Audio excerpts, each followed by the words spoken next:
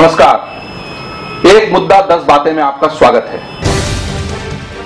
आज का मुद्दा है, टीपू सुल्तान से जुड़ी हुई विवाद और जानकारी। अचानक कर्नाटक की कांग्रेस सरकार को क्या सूझा कि उन्होंने टीपू सुल्तान की जयंती मनाने की ठान ली? आज के पहले तो इस देश में कभी टीपू सुल्तान की जयंती नहीं मनाई गई थी।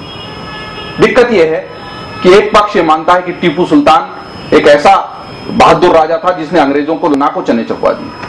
दूसरे पक्ष का मानना यह है कि टीपू सुल्तान एक क्रूर, आदताई राजा था, जिसने हिंदुओं पर भी ज़बरदस्त अत्याचार किए और ईसाइयों को भी बुरी तरीके से प्रताड़ित किया।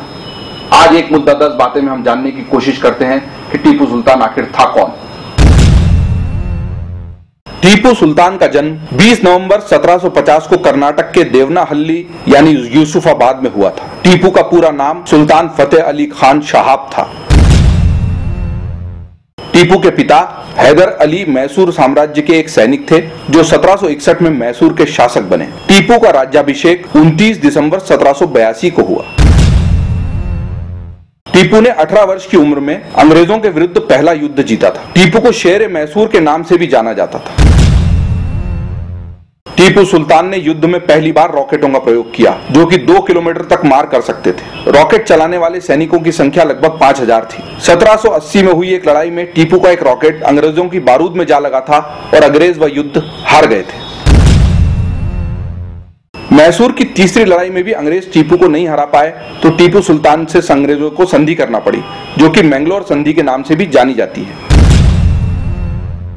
ऐसा कहा जाता है कि 4 मई 1799 को 48 वर्ष की आयु में कर्नाटक के श्रीरंगपट्टना में टीपू को धोखे से अंग्रेज़ों ने मार दिया था। पालक्काड़ किला टीपू का किला नाम से भी मशहूर है। 1766 में बना यह किला पालक्काड़ के मध्य भाग में स्थित है। ब्रिटेन के एक संग्रहालय में टीपू सुल्तान की अंगूठी भी रखी हुई है, जिसके बारे में हाल ही में उत्तर प्रदेश के मंत्री आज़म खान ने कहा कि उस पर राम नाम अंकित है। लंदन में हुई नीलामी में टीपू सुल्तान की तलवार पाँच लाख से अधिक पाउंड में लिकर किंग विजय माल्या ने खरीदी थी। इस तलवार की कांसे की मूठ पर बाघ का सिर बना हुआ है। टीपू सुल्तान पर हिंदू विरोधी होने के आरोप भी लगाए जाते हैं। ऐसा कहा जाता है कि लड़ाई के दौरान पकड़े गए सैनिकों को श्रीरंगपट्टना भेजा जाता था और उनसे इस्लाम कबूल करवाकर पैदल सेना में भर्ती किया जाता था।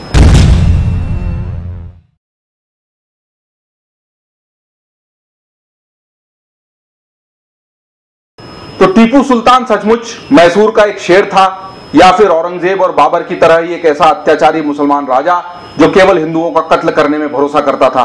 इसको लेकर इतिहासकारों में भी विवाद है, और आज का समाज भी इसको लेकर चर्चा करता रहेगा। लेकिन एक बात तय है कि टीपू सुल्तान ने इतिहास में अपना नाम दर्ज करवा रखा है।